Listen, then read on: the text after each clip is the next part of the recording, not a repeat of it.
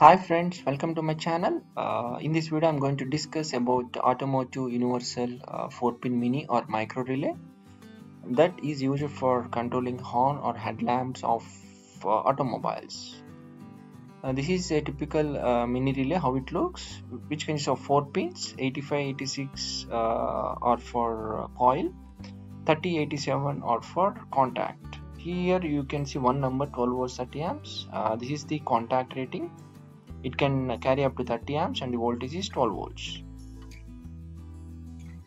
Here you can see uh, the difference between these uh, micro and mini relays. Uh, micro relay is in rectangular shape whereas mini relay is in square shape and also the pin numbers are different for both these relays.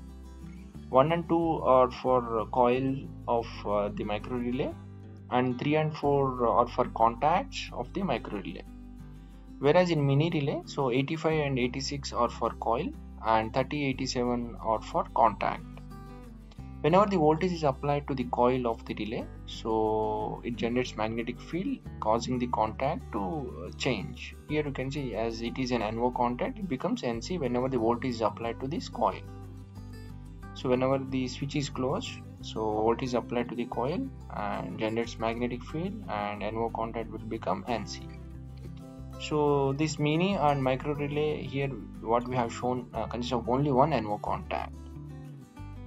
So this is uh, one type of uh, relay which consists of one NO and one NC contact. So whenever the voltage is applied to this uh, coil uh, the NO contact becomes uh, closed and NC contact will become open.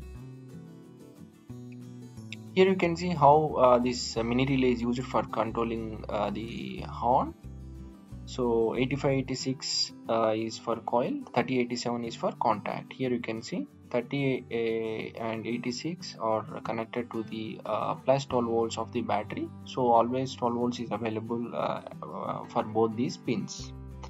So whenever this uh, horn switch is closed so the circuit is closed uh, then uh, this coil will generate magnetic field causing this 3087 contact to close. So whenever this contact is closed 12 volts is applied uh, to, to the horn.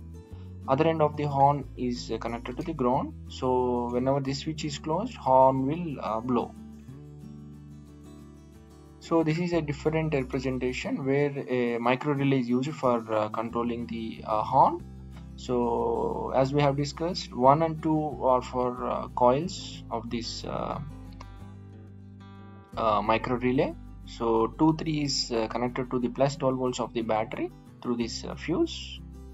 So whenever this horn switch is closed the circuit to the coil is closed means 12 volts is applied to the coil which generates magnetic field causing this 3 4 contact to close means normally open will become closed whenever uh, this uh, contact is closed so 12 volts is applied to this uh, horn and it blow.